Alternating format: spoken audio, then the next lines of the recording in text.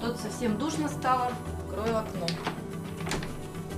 Непозволительная роскошь прокомментировали бы такое расточительство многие пермяки, ведь в большинстве квартир до сих пор батареи холодные, а здесь, в доме на моторостроителей 12, тепло есть. Жители многоэтажки уже не первый день могут позволить себе спать с открытыми форточками и ходить по дому в футболке и шортах.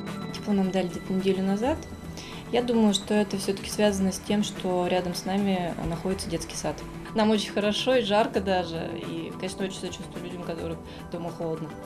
А тепла до сих пор нет в большинстве многоэтажек. Примерно так сейчас спасаются от холода многие пермяки теплыми вещами и обогревателями.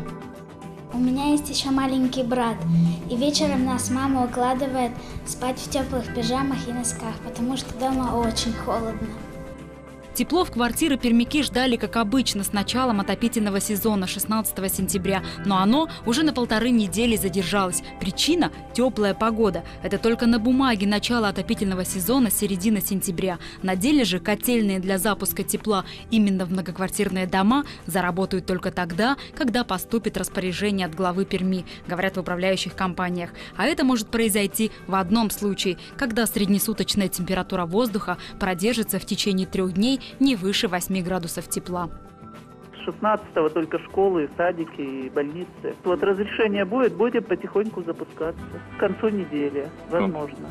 Большинство систем теплоснабжения жилых домов во всех районах города заполнены сетевой водой и готовы к подаче теплоносителя, сообщил вчера депутатам зам главы администрации Перми Николай Уханов.